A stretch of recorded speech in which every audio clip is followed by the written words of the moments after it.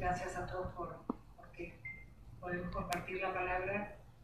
Y tengo un enorme placer de haber reencontrado después de muchos años a mi querido amigo Lebrando, que no veo muy bien dónde está. Pero gracias por, podernos encontrar y gran poeta. Muchas gracias por estar aquí. Por supuesto, yo soy muy desobediente hasta conmigo misma, no me obedezco ni a mí, así que es un problema y había armado toda una lectura, pero vine aquí y se me, se me, pusieron adelante unos borradores que voy a compartir con ustedes.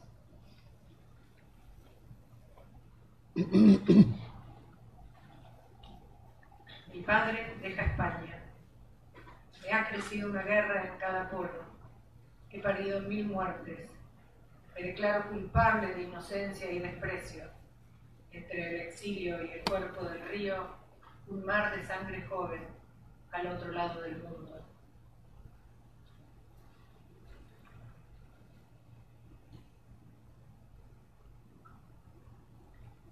Buenos Aires, Reina del Plata. No pudiste pesar las palabras del silencio, ni notaste cuánto revolvíamos los hijos, tus bolsillos españoles. Buscábamos monedas o plumas que nos dieran pista de esa tierra prometida. Un día encontramos una bobina de papel inmensa, de las que se usan en los diarios. Éramos cuatro niños desarrollando el tiempo de estelladas, raptando entre, reptando entre las letras. Aunque nunca nos enseñaste a leer, encontramos versos de cernuda, nubes como mapas de España que guardaban las manos de Alberti. Me da pudor decirte, padre, que en la escuela ocultaba mi linaje los realistas entonces eran solo el enemigo. Yo no comprendía esa palabra, me parecía tan bonita. Si ahora mismo estás llegando y vas derecho al viejo Wincofón, contento como uno de nosotros, a escuchar ese LP de un jovencito que canta en catalán. Los versos hablan de Marta, del rumor del mar al alba, mientras que ruedan dos gotas de ausencia. Es entonces que pido por tu patria que es la mía. Es ahora que pienso en este exilio colectivo, de haberlo sabido antes que murieras, Padre, te habría regalado una paloma.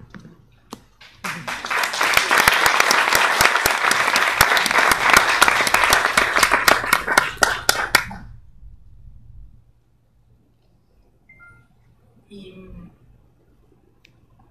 de un, de un viaje donde Hildebrando estaba en La Habana, bueno, encontré esto buscando, no sé, buscando, calculo que un suéter o algo apareció en una libreta y, encontré este viejo escrito que me da, me da gusto compartirlo hoy porque él está aquí.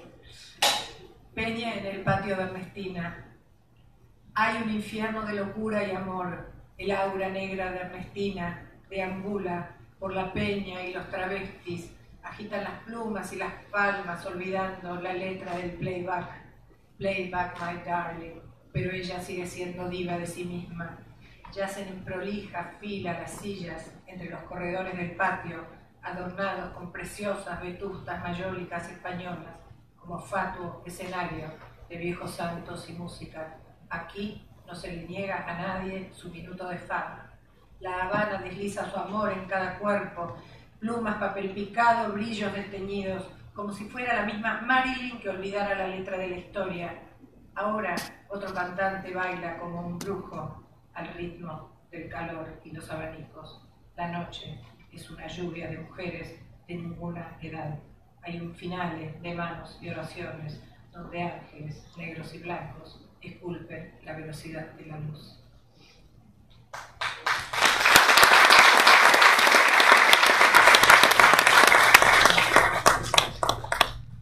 Para terminar, voy a leer con lo que iba a empezar esta lectura, o sea que tiene algún sentido, que es un poema del último libro que publicaron.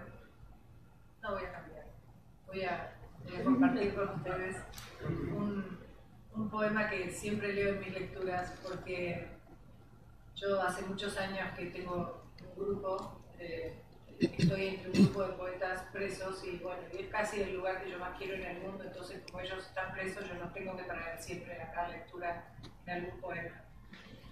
Este, poeta, este poema está dedicado a los poetas de la Unidad 48. cierto aire de gloria. Nos juntábamos para mordernos las letras. Uno a uno cumplíamos el rito de la sangre. Íbamos en fila, como quien abriera una ventana el aire fuera ráfagas de tinta envenenada. Éramos los poetas de la 48, los poetas presos. Nuestra reja era la palabra reja. Abríamos grande la boca y diente a diente comíamos los versos con la mano. No había cubierto para cortar ese manjar prohibido. Éramos los poetas de la 48, hasta que se abrió una fisura y zambulló el tiempo dentro del lenguaje para que jamás hubiere atropello dentro o fuera del cuerpo y las palabras disparen como balas en ese espacio privado que es el corazón.